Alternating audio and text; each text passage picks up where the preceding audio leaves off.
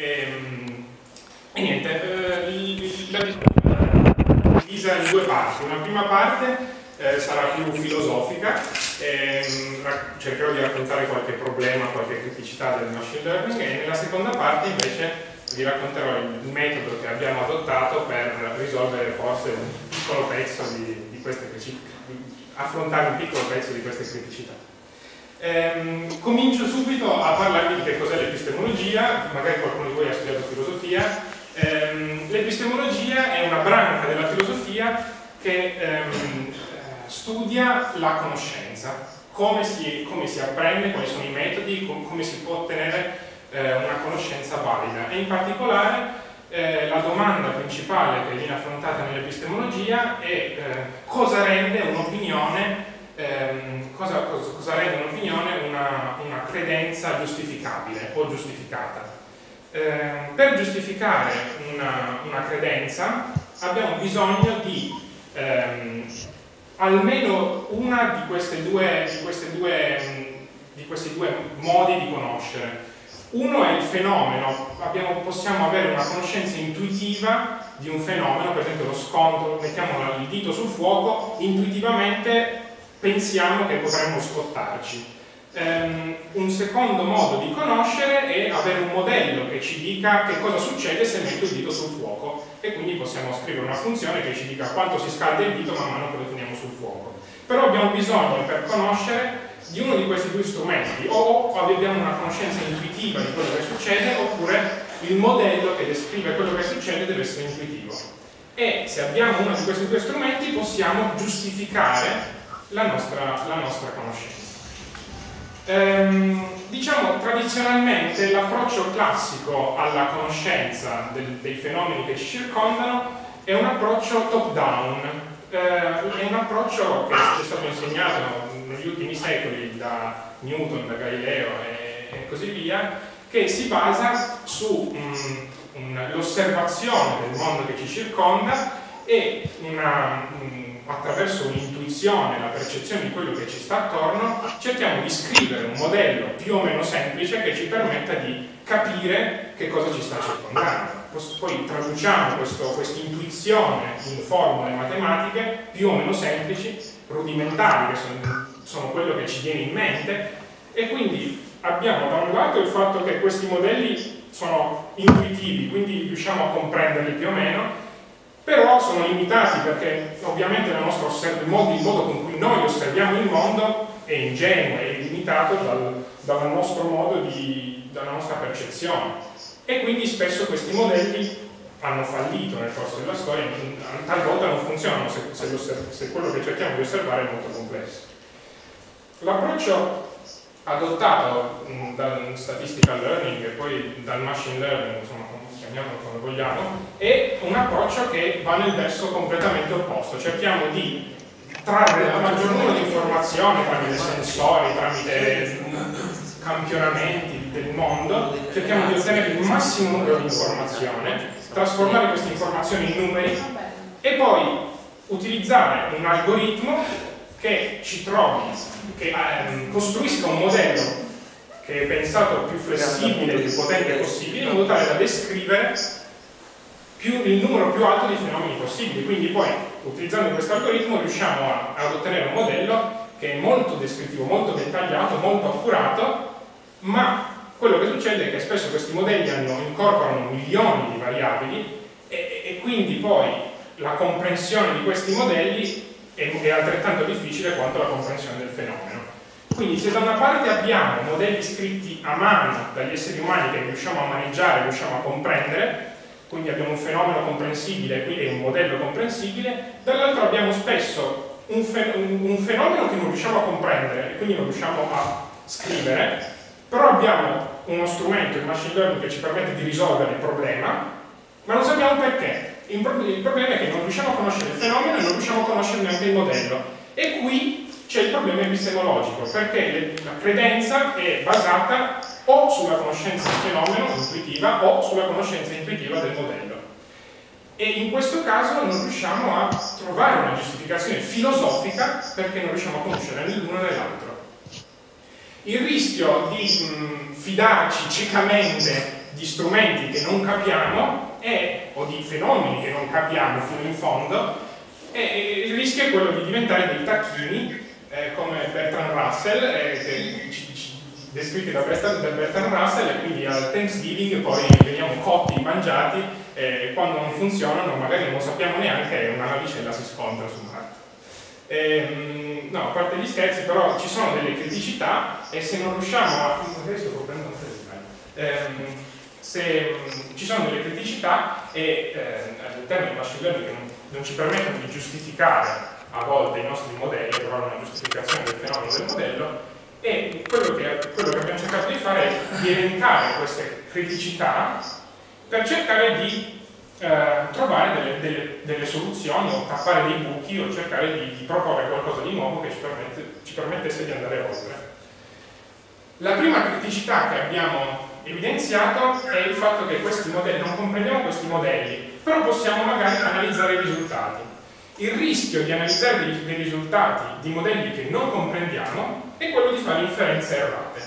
Faccio un piccolo esempio. Abbiamo due fenomeni A e B, supponiamo il numero di pirati nel corso dei secoli e la temperatura globale eh, nel corso dei secoli, beh, vediamo dai risultati che questi due fenomeni, queste due variabili sono correlate. Ora, ci si potrebbe spiegare questa correlazione in almeno quattro modi. Inizialmente potremmo supporre che una è causativa dell'altra, magari la diminuzione del numero dei pirati ha causato l'aumento della temperatura, viceversa l'aumento della temperatura ha fatto diminuire il numero di pirati, e queste sono più o meno quello che pensiamo, cioè che, siamo abituati a pensare, che una variabile stia causando l'altra, però esiste la possibilità che ci sia una terza variabile che causi entrambe, oppure che la correlazione sia del tutto casuale e che, casuale e che quindi in realtà non ci sia una vera eh, relazione di causalità tra le due variabili. Il rischio, appunto, come dicevo, è che noi ci fissiamo quando vediamo i risultati di un modello sul, in cui si trovano delle correlazioni, cerchiamo di forzare la, la, la relazione di causa-effetto tra, tra, i fenomeni e tra le variabili che stiamo osservando. Questo è un errore grave e ci può dare l'illusione di conoscere, quando invece non abbiamo capito niente. Quindi bisogna essere, il primo rischio, quando si usano modelli che non conosciamo, è quello di prendere delle cantonate mostruose. Il secondo problema mm, che abbiamo elencato del, del, machine learning è la, la, limitata capacità di generalizzazione che, ha, ehm, che evidenzia in, in, in, vari, in vari casi. Adesso vi farò qualche esempio semplice di, di generalizzazione e mm, cercherò di, di, spiegarvi cosa intendo per mancanza di, di capacità genera, di, generalizzazione. Prendiamo un esempio molto semplice ehm, e cerchiamo di generalizzare cosa accade a questo punto quando cerchiamo di apprendere. Questo punto non è esattamente un campione che abbiamo nel nostro dataset, però cerchiamo di generalizzare e cerchiamo di, di fare delle inferenze su cosa potrebbe essere quel punto lì, di che classe, a che classe potrebbe appartenere. Beh, se guardiamo quello che sta attorno a questo punto, è abbastanza semplice supporre che questo punto possa appartenere alla classe rossa. È un'interpolazione abbastanza semplice, non c'è molto da dire, anche un essere umano intuitivamente direbbe che fa parte della classe rossa. Se ci spostiamo in punti del, del, del piano più complicati, magari vicini, vicini alle superfici di decisione, gli errori possono essere maggiori perché possiamo vedere attorno a questo punto situazioni diverse, quindi diciamo, possiamo fidarci meno di quello che sta succedendo. Qui generalizziamo, proviamo a generalizzare, ma il rischio di commettere errori. La cosa curiosa è cosa succede quando andiamo, ci spostiamo in un punto dello spazio in cui non c'è niente attorno. Ci spostiamo in un punto in cui non, succede, non abbiamo informazione attorno. Quindi un algoritmo di machine learning qui sarebbe molto confidente nel fatto che quel punto sia un, fiore di tipo virginica, quando in realtà questo fiore potrebbe essere, cioè non, non c'è informazione veramente lì. Però l'algoritmo machine learning, siccome, siamo lontani dai decision boundaries e qua c'è tutta classe gialla, questo qui è sicuramente classe gialla, siamo confidenti, quindi se leggiamo il modello senza vedere il grafico, senza poter disegnare quello che sta succedendo, noi ci fidiamo, ci fidiamo ciecamente del machine learning, rischiamo. La cosa più assurda è cosa succede quando siamo qui. Quindi cosa succede se noi siamo in un punto dello spazio in cui non abbiamo informazione, non solo, siamo anche vicini ai decision boundaries di, di, di un algoritmo di, di classificazione. Non, non, abbiamo informazione veramente per capire cosa sta succedendo.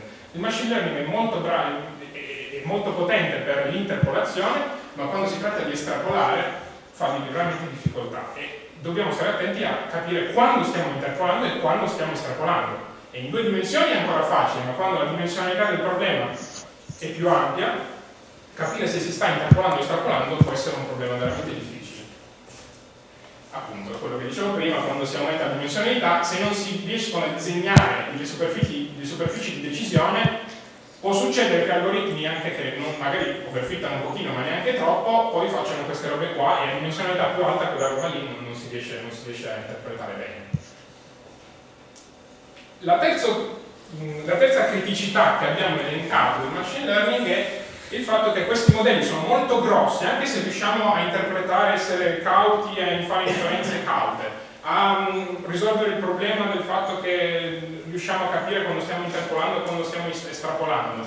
Il problema è che questi modelli sono enormi e possono essere enormi o perché il numero di variabili del fenomeno è ampia oppure perché abbiamo un sacco di campioni. In particolare, quando abbiamo delle, un problema anche semplice, se noi incorporiamo nei nostri modelli variabili inutili, rischiamo soltanto di rendere più grosso il modello e di non capirci niente. Già incorporando quattro variabili in un modello non riusciamo a disegnare niente, quasi nulla, se ne teniamo due magari riusciamo e quindi se riusciamo a togliere tutta l'immondizia possiamo fare modelli più semplici e che magari abbiamo la speranza di interpretare meglio. Ricorda questo... che impara il plot, eh? Sì. Ah sì, vabbè, questo, vabbè, questo, in questo grafico si, si gli assi sono messi in parallelo non, non in perpendicolare solo per visualizzare l'alta dimensionalità, ma qui ognuna di questi assi è una variabile, un modo di graficare. Ehm, il problema di avere tanti campioni invece è il fatto che poi dobbiamo processarli questi campioni.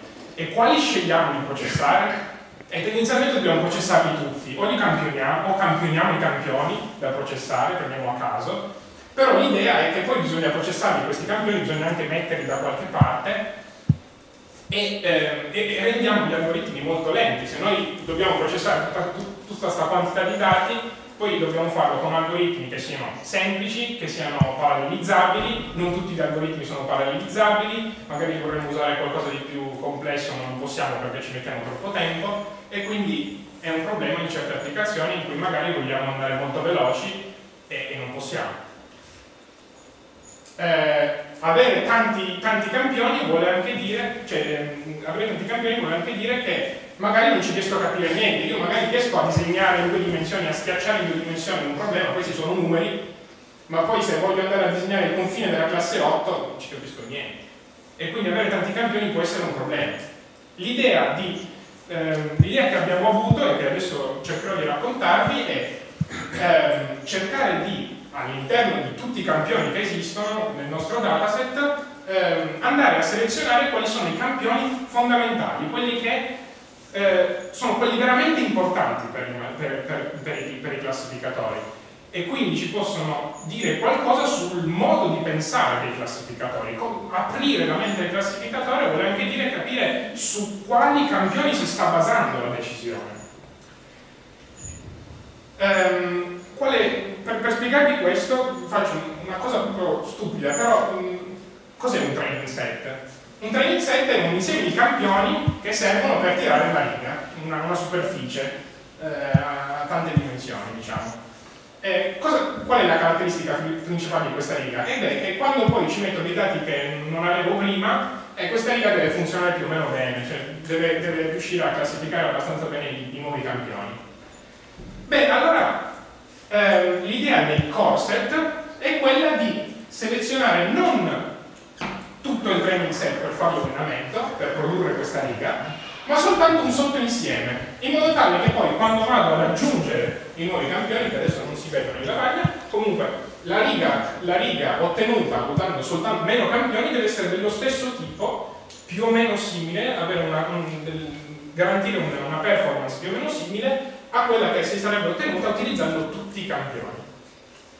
Il vantaggio è che adesso usiamo meno campioni, la riga è la stessa, però questi campioni magari possiamo andarli a vedere a mano, andare poi dopo, una volta che abbiamo allenato la rete, andiamo a vedere chi sono questi campioni e cerchiamo di capire con la nostra mente perché quei campioni sono risultati importanti. Ci sono vari, vari, vari algoritmi che sono stati proposti dal 2000 in poi uh, per selezionare i concept, eh, sono tutti basati su, diciamo, in due parole, questo è il machine learning, ma mi sembra che qua siamo tutti, eh, questa è una presentazione era preparata anche per persone che non erano proprio eh, dentro il machine learning, il nostro approccio è schematizzabile in questo, in questo senso. Eh, abbiamo i nostri dati, abbiamo un modello matematico che nel nostro caso è un classificatore, eh, la funzione di errore eh, non, ha due dimensioni. La prima è l'errore di classificazione, stiamo cercando di classificare, quindi dobbiamo minimizzare questo errore. La seconda è la taglia del training set, quindi quanti campioni usiamo, stiamo usando per allenare il nostro classificatore, non tutto il dataset, noi dobbiamo usare un sottoinsieme e quindi eh, quello, che stiamo, quello, che cerchiamo di fare è misurare quanti campioni stiamo usando, vogliamo minimizzare questo numero per poter ehm, diciamo, trovare il sottoinsieme minimo che ci permette di ottenere eh, il, il, miglior risultato. Eh, in particolare l'ottimizzatore che abbiamo usato è lo stato dell'arte degli algoritmi de, de, dell'ottimizzazione dell multi-obiettivo, è un algoritmo evolutivo che si chiama NSG2 e, e, e niente, adesso vi racconto come, come, eh, come, viene costruita la soluzione candidata, che poi andrà evoluta nel corso, nel corso del, dell'evoluzione. Eh, si prende il training set, eh, si propone un individuo che è una stringa binaria, in corrispondenza di uno 0 nell'individuo si va a eliminare il campione nel training set, in corrispondenza di un 1 si tiene il campione e quindi si ottiene un training set di dimensione ridotta, abbiamo tolto campioni. Si usa questo training set per eh, allenare un classificatore e si calcola l'errore del classificatore. E questa è una delle due fitness. La seconda fitness, la seconda parte del, del, della funzione di costo, è data dal, dal conteggio di quanti sono gli uni nell'individuo. Quindi eh, ogni individuo, ogni candi soluzione candidata è data sia dalla quantità di, di, di campioni utilizzata per l'allenamento, sia dall'errore del classificatore. La cosa interessante degli, degli algoritmi multi-obiettivo, dell'ottimizzazione multi-obiettivo, è che possiamo andare a eh, fare il grafico delle soluzioni finali, alla fine dell'evoluzione possiamo graficare le, le, le, soluzioni andando a plottarle in un, in un grafico in cui ehm, ogni asse rappresenta una delle due fitness. Eh, la cosa interessante è che in questo grafico noi abbiamo delle soluzioni che sono sicuramente migliori di altre. La soluzione I e la soluzione K in questo grafico eh, hanno una relazione, la relazione è che I domina K, si dice, I domina K perché I è migliore sia per quanto riguarda l'errore, come fa un errore minore, sia per quanto riguarda la taglia, in questo caso del numero di campioni che sono nel training set, e quindi ha minimizzato meglio, I è, è migliore. In particolare tutte le soluzioni che sono in questa porzione di piano sono, di spazio sono eh, tutte peggiori rispetto a I. Eh, in, in, quello che succede spesso è che ci sono mh, delle soluzioni che non sono dominate e non sono dominabili da altre soluzioni. L'insieme di queste soluzioni eh, si possono congiungere con, con una linea, questa linea prende il nome di fronte di Pareto e ehm, rappresenta, su questa linea vengono rappresentate tutte le soluzioni che sono equivalenti, ossia rappresentano dei compromessi tra l'una e l'altra fitness eh, che sono ottimali e non sono, non sono dominabili da altre soluzioni. Quello che abbiamo provato è eh, provare, quello che abbiamo fatto è provare questo, questo, metodo, questo tipo di ottimizzazione con vari classificatori di machine learning per vedere qual era la risposta. Adesso vi faccio vedere un po' di grafici, saranno un po' piccoli ma eh, c'è bisogno di vederli insieme. Allora, qui in alto eh, alla vostra sinistra abbiamo eh, proprio le, le soluzioni candidate alla fine dell'evoluzione le, ehm, I rombi rossi sono le soluzioni ottime, quelle che formano il fronte di Pareto, quindi vedete, vedete che abbiamo tanti compromessi. Qui stiamo allenando Random Forest. In questo grafico avete ehm, un, un, un, un, grafico a un, grafico a barre che vi dice qual è la, quante volte, la percentuale di volte in cui ciascun train, eh, sample, ciascun soluzioni ottime. Ehm, in basso a sinistra avete le super, i, i, decision boundaries, ehm, i, i rombi sono i punti che sono stati scelti maggiormente da Random Forest per classificare. Curiosamente Random Forest ehm, fa un po' di rumore, vedete qua e qua, nella classe rossa, la classe rossa non gli interessa tantissimo qual è, quale campione della classe rossa, invece gli interessa molto avere qua, vedete qua e qua, che i campioni della classe verde e blu siano vicini al decision boundary. Ha bisogno che, gli, che quei campioni siano nel suo training set, se non ci sono fa tanto errore.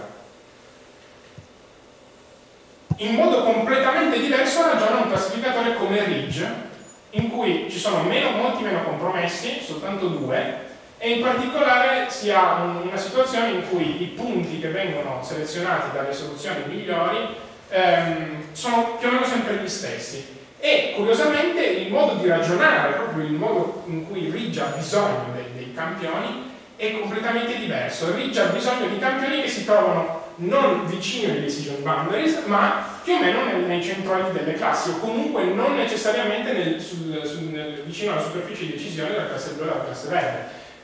Questa è la, la, situazione in cui Ridge si trova meglio in assoluto. In modo abbastanza simile, ehm, classificatori basati sul, ehm, support, sulle support vector machines. In particolare, su un problema del genere, sì, abbiamo trovato che eh, SVC trova una sola soluzione ottima che domina tutte le altre. Questa soluzione ottima, ehm, questa soluzione ottima in realtà ci sono n soluzioni ottime che trovano, che, che, che sono, si, si, posizionano sempre qui. Eh, anche SVC non gli interessa granché di cosa succede, quale punto venga scelto nella classe rossa, eh, mentre gli interessa moltissimo che venga preso questo o punti vicini a questo, questo punti vicini a questo, ma comunque sempre vicini ai centri delle classi. Questo ci dice che un approccio basato su foreste, su alberi, ha bisogno di informazione vicino alle decision boundaries, mentre approcci diversi basati per esempio su RID, su, su modelli che assomigliano alle reti neurali, ehm, preferiscono, se sono buoni, campioni che sono lontani, che sono vicino ai, ai, ai centrali delle classi. C'è anche da sottolineare la differenza qualitativa tra il core set per la support vector classification e i vettori di supporto che vengono utilizzati dal principio del support vector machine. Eh, questo apre un dibattito su come interpretare il supporto vector machine.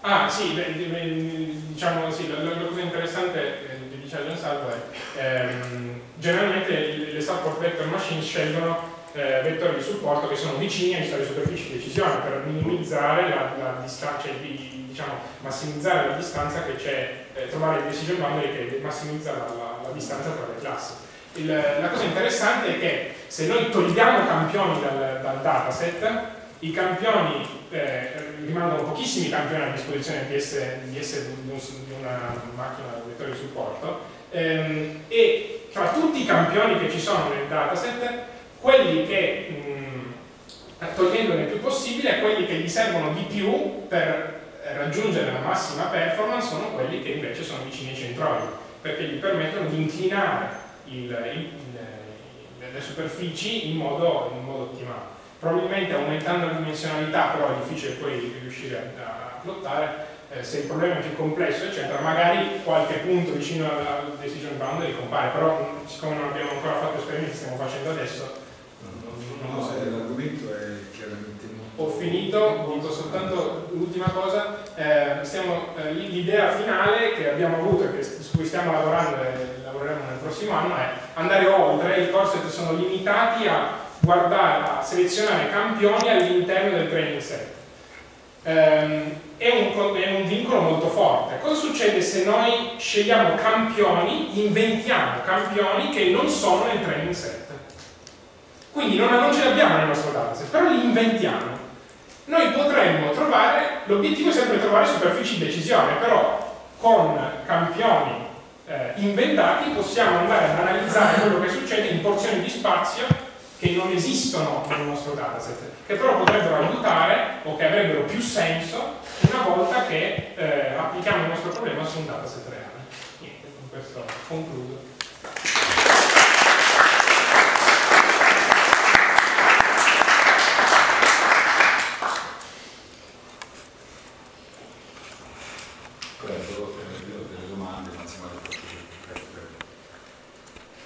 Una domanda sull'ultima slide. Ma quando inventate i maglioni che, che le voi date? Perché cioè, immagino che sulla superficie del piano non è coperta da nessun campione Certo. reale, mentre ce lo metto, come lo traghetto, cioè come faccio a sapere che... Allora, ehm, la- il modo, l'idea è come, come creo questi campioni, ci sono vari modi. Eh, abbiamo pensato almeno due modi. Il primo è ehm, fare clustering. Nel clustering noi muoviamo, eh, cioè cerchiamo di clusterizzare il nostro campionato, di, trovare dei punti che sono fondamentali nel nostro dataset, ci muoviamo sempre però ehm, all'interno di, ehm, del- della distribuzione dei dati che stiamo analizzando, quindi ehm, se poi andiamo a trovare il, centroide più vicino a, a ciascun nodo che troviamo, facciamo clustering, troviamo il centroide della classe più vicino, possiamo etichettare quel nodo con l'etichetta del, del centroide della classe più vicina. La seconda alternativa potrebbe essere quella di ehm, guardare cosa c'è attorno, fare qualcosa tipo eh, KNN, andare a vedere cosa c'è attorno e diciamo ok, ci sono eh, 10 blu e 3 rossi, etichetta blu. Però è, è un, è un problema, nel senso ti stai spostando su qualcosa che non esiste nel tuo dataset e quindi l'etichetta potrebbe essere completamente sbagliata. Ehm, Boh, se posso aggiungere una cosa su questo, però eh, eh, sulla generazione di dati, eh, forse eh, proprio venendo alla domanda che fa lui, eh, l'aspetto che potrebbe sembrare complementare naturale è avere un meccanismo, un protocollo di combinazione diverso, cioè quello attivo, cioè in cui a un certo punto un agente si rende conto che gli fa piacere intuire e generare nuovi dati, magari con i metodi del DCD, ma ce ne potrebbero essere altri, e chiede, chiede che, cosa, che cos'è il dato, no? Cioè, in senso attivo. Eh, Allora questo aggiunge molto valore perché dice eh, bene anche lui, cioè quando tu eh, clusterizzi o, o induci, beh, eh, verosimilmente aggiungi ma non troppo perché rischi pure di sbagliare nel, processo inferenziale che metti giù. Invece è molto prezioso se hai l'abilità di fare quello che dici tu, ma naturalmente eh, protetta dal fatto che un, un qualche vincolo, anche una semplice supervisione ci sta, allora diventa molto interessante. Può essere anche un vincolo geometrico. Se io intuisco la forma del decision boundary, posso intuire questi dati in una zona dove non ho dati, perché No, un no. gainer, snapper o altro han- hanno bisogno di dati. Assolutamente sì, no, questo infatti è, bello, cioè che puoi intuire che c'è qualcosa che, che va avanti e, e anzi, vivere anche per conto tuo con quella consapevolezza. Però rispetto a quello che diceva lui prima, eh, talvolta può essere utile che siccome non lo sai davvero, che tu abbia la, la benedizione, allora assume ancora più valore quell'inferenza. Eh, riguardo la cosa geometrica, io penso, quella cosa è una cosa che eh, io cominciavo a pensare negli ultimi tempi, ma se ne era, volte se ne era parlato così. Ehm, è correlata il fatto che, secondo me, che gli algoritmi di solito usano un pattern alla volta, i machine learning usano un pattern alla volta.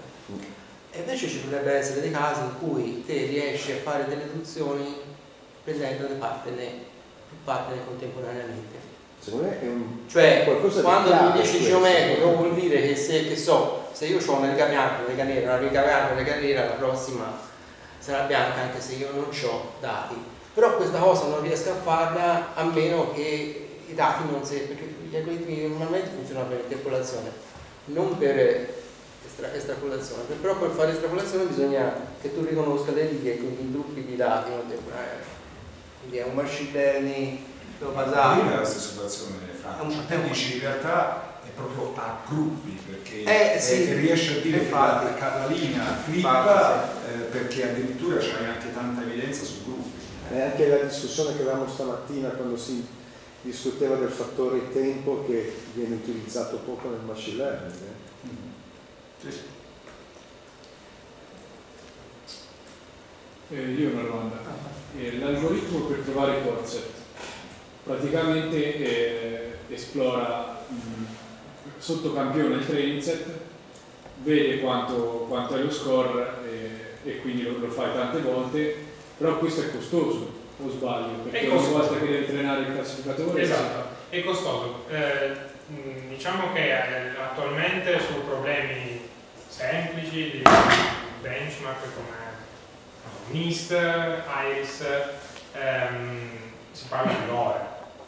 Però eh, c'è anche da dire che eh, la- ehm, la- il vantaggio degli algoritmi evolutivi che sono eh, molto parallelizzati, nel senso che all'interno di una stessa, ehm, di una stessa generazione eh, tutti gli individui potenzialmente sono parallelizzati. Non solo, il costo computazionale di una eh, generazione eh, è quindi equivalente a quello di un singolo individuo, perché si può parallelizzare.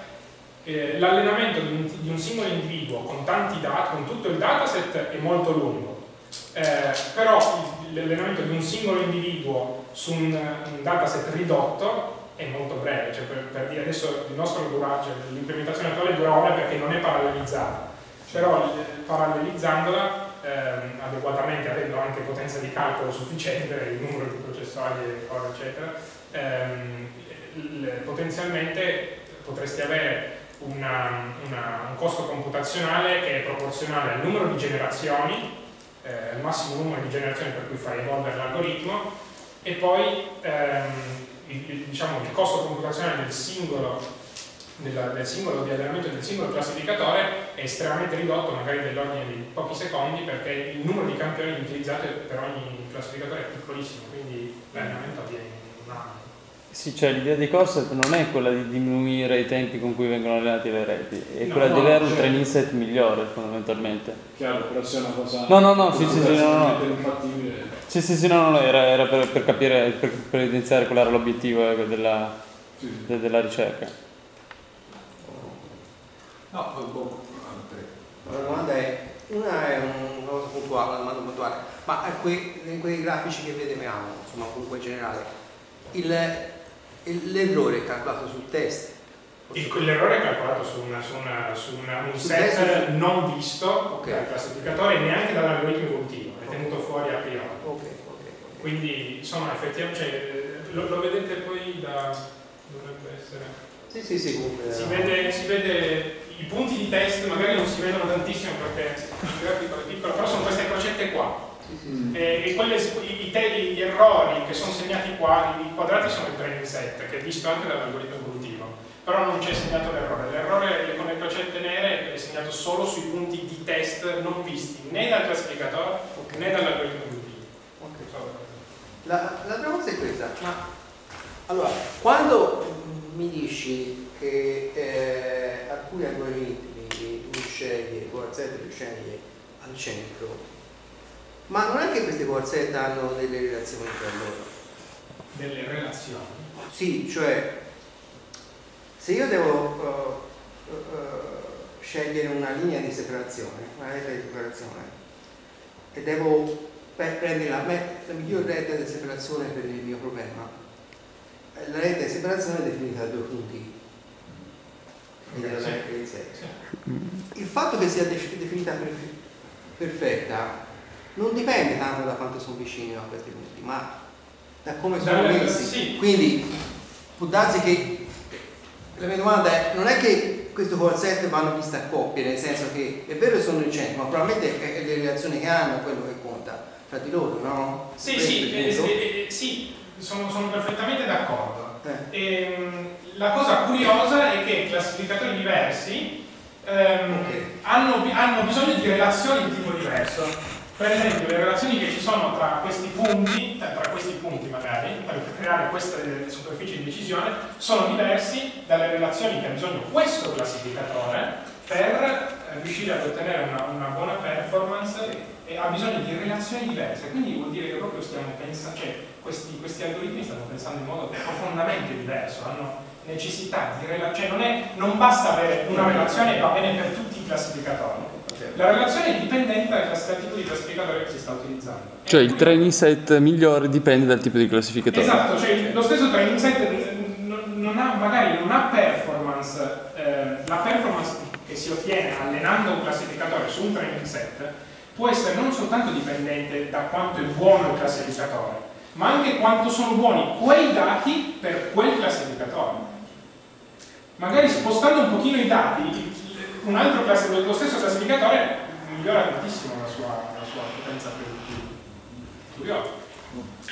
Ecco, eh, dice c'è sempre una curiosità connessa a quello che diceva anche Gianzardo sul rapporto con i support vectors, eh, perché il caso delle, delle kernel machine rispetto ad altri è diciamo abbastanza interessante perché eh, effettivamente già nelle kernel machine questo principio di tirar fuori una sorta di eh, core set c'è eh, perché è un sottoprodotto della, del, principio di parsimonia che però metti sulla gente, cioè è la funzione che eh, in realtà ubbidisce a un criterio di parsimonia tradotto con una qualche metrica, per esempio nella, eh, negli spazi di Hilbert che dicono vabbè voglio una funzione smooth e aver imposto quel principio di parsimonia si porta dietro poi una, una conseguenza anche eh, su come è fatto eh, questo core set, che è interessante, non è detto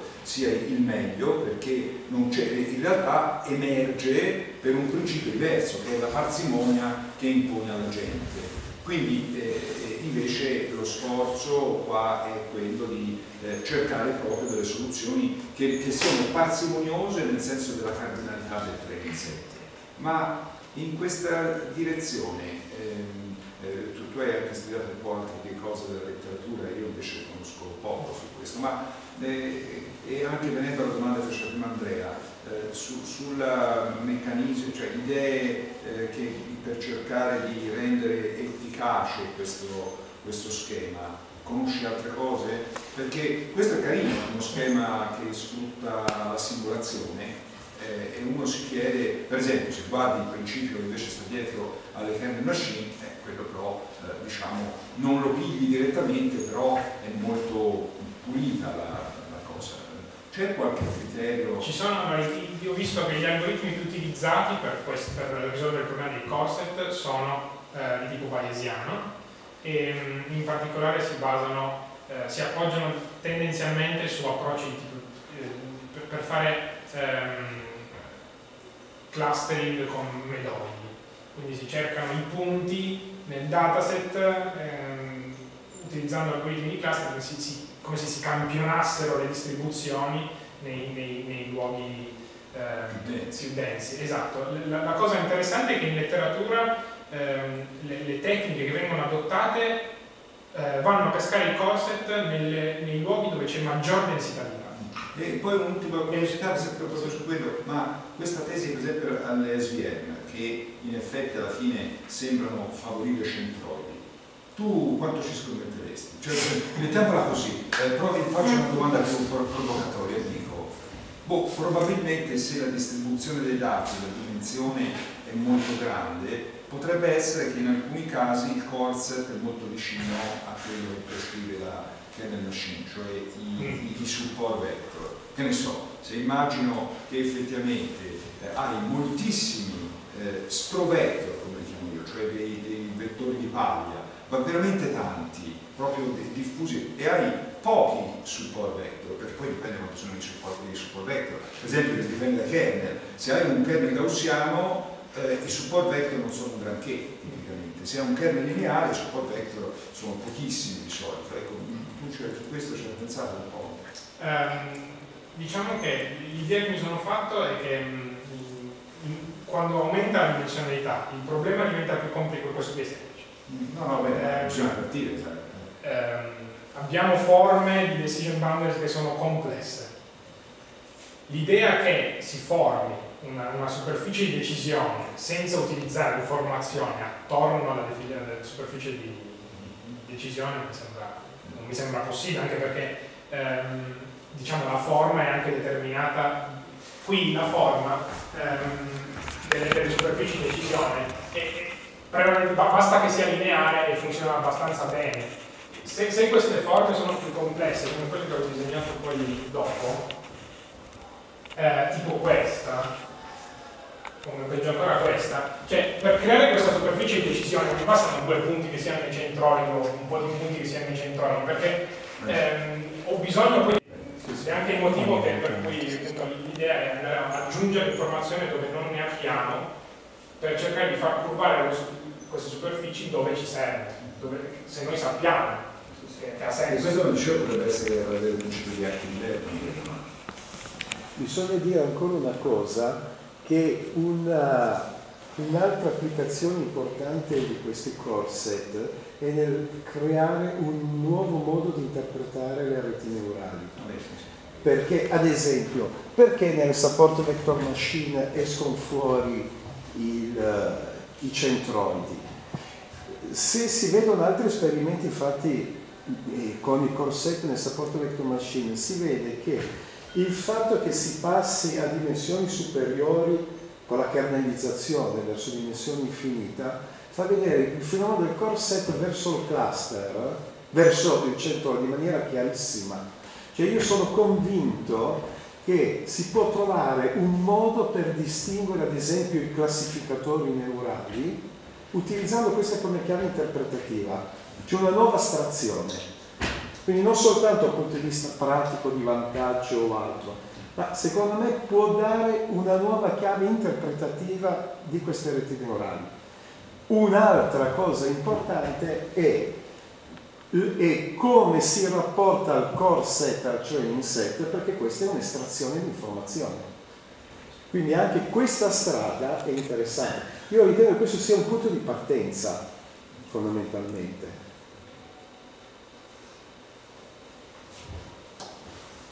Bene, sono ci altre domande?